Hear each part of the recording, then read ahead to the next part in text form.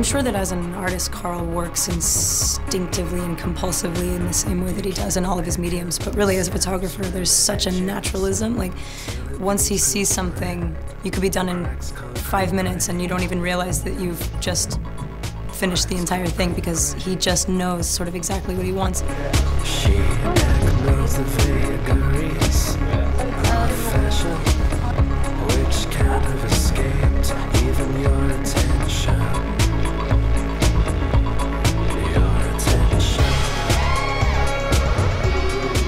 What's so incredible about shooting with Karl is that he really knows how to bring out the best in someone, which then brings out the best in the clothes, and it's a really like good relationship in that sense. And the photos always end up looking really amazing. Gabrielle Chanel, elle a révolutionné la mode, c'est quand même une des premières qui a habillé les femmes avec des vêtements d'hommes. À l'époque où tout le monde portait des corsets, pouvait pas respirer, elle allait chercher la, la liberté.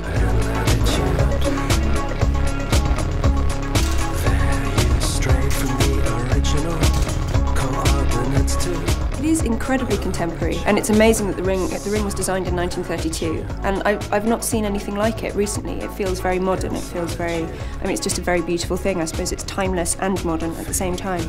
Um, but I think the whole collection, you know, it's it's all it's a it's a really stunning collection, and the fact that it was designed so many years ago and yet is still so current, I think, is always the magic of Chanel. When you have a couture element in a house, I think it lifts everything because there's such precision. So there's a, a quality to the cut of the clothes, whether it's ready to wear or obviously the couture, that runs through. And I think that's quite unique.